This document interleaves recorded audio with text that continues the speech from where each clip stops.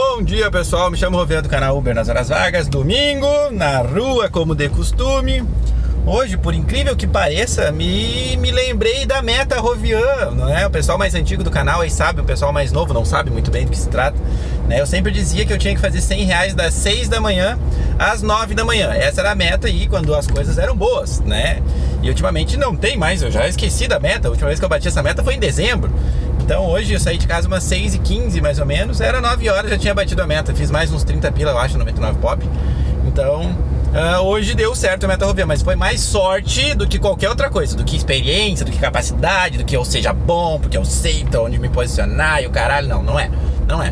Foi sorte, porque eu fiz meio que um triângulo. Saí daqui, vim até aqui, daí vim aqui, daí vim aqui. Então foram três corridas longas que me deram, né, que foi bom para mim hoje. Mas em compensação, eu com, quando eu bati os 100 reais, eu já tinha rodado 95 quilômetros também, né? Então o que eu falo, as corridas longas né, tem esse detalhe. A vantagem só é que se tu pega a faixa, tu consegue economizar um pouco mais de combustível, né? Mas é muito justo um real o quilômetro, é muito justo, né?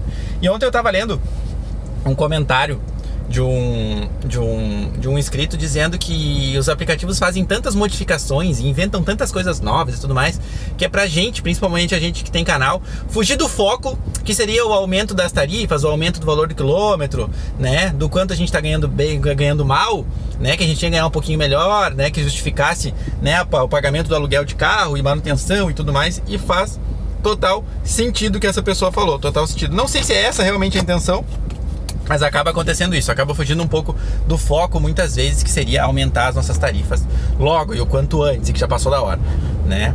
Então, mais ou menos isso. E não dá para esquecer, né? Eu acho, sinceramente, eu acho que só tem como aumentar as tarifas se os aplicativos se juntarem todos e definirem, ó, tal data nós vamos aumentar em 10%, em 15%, em 20%, né? Um exemplo, tá? Eu acho que só tem essa forma, não tem outra forma.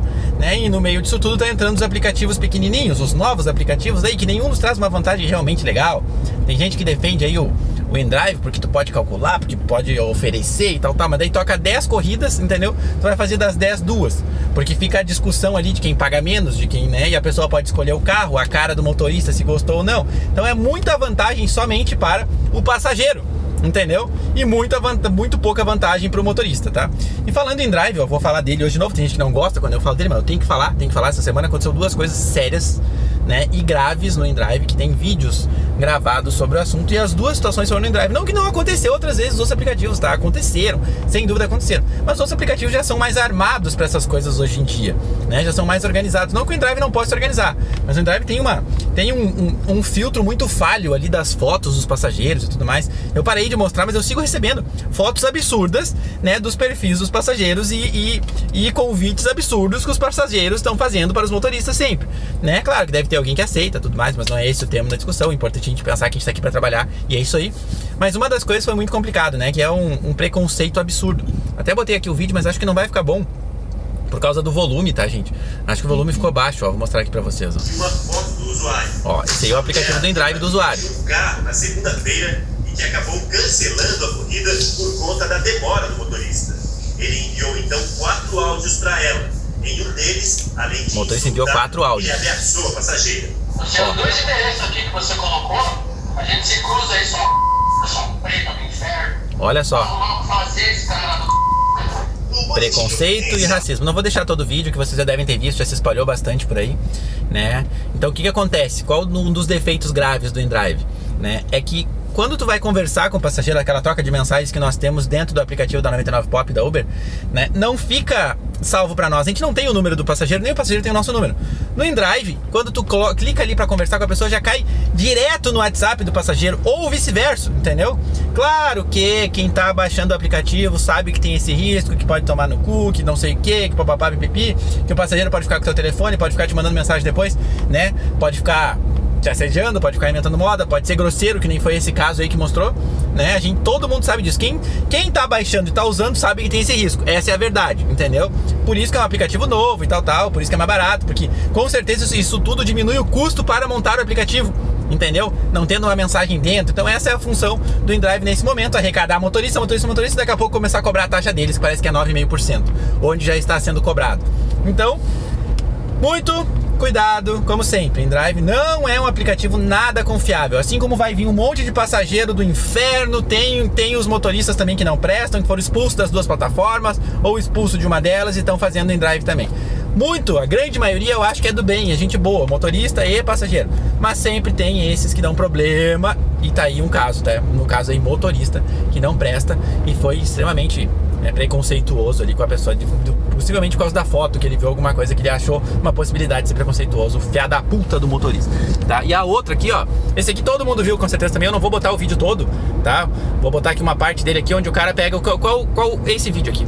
Ele chamou, foi chamado uma corrida do InDrive, ele chegou, foi pegar lá, tinha um envelope. Um envelope aparentemente com papéis, entendeu? Tipo, o cara não conferiu. Aí que tá a inexperiência do motorista em si. Ele deveria ter aberto o troço, né? E olhado tudo que tinha dentro, mesmo que fosse papel, né? Ó, papel, papel, papel, papel. Mas não, na verdade esse envelope tinha drogas, entendeu?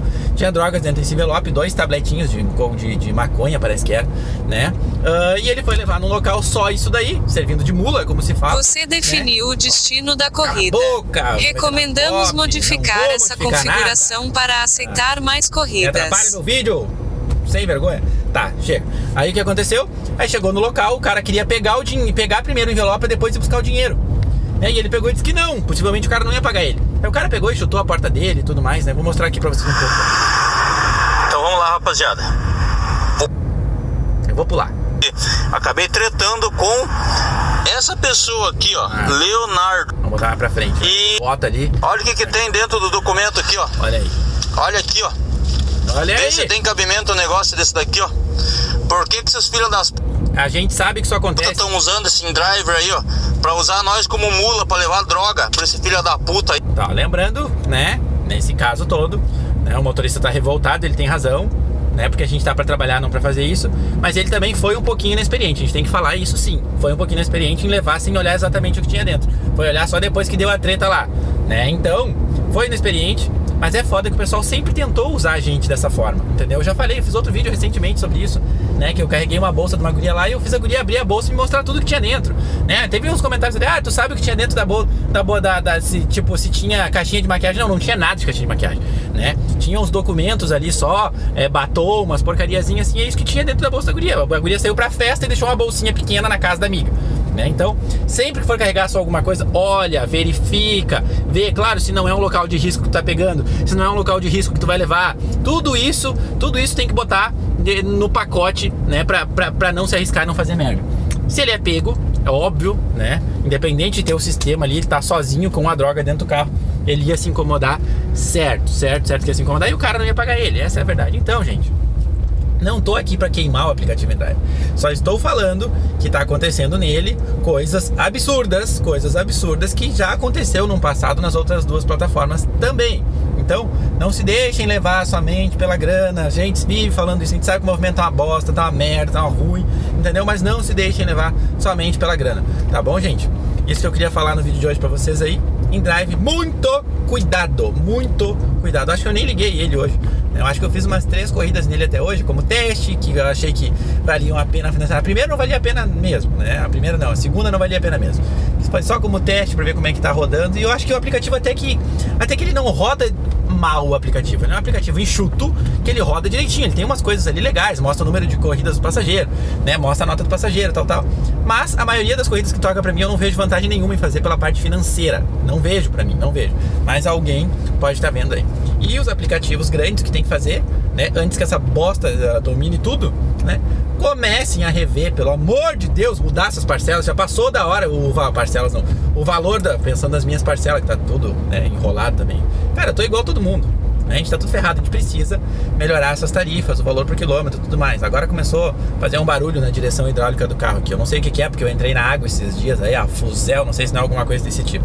Mas lá vou eu gastar mais um pouco da grana que eu não tenho. Então, já passou da hora dos aplicativos melhorarem, ou vai ficar todo mundo, né, indo atrás de mini carro só. Eu tava pensando nisso esse dia, vou fazer um vídeo logo, logo, logo sobre isso, né?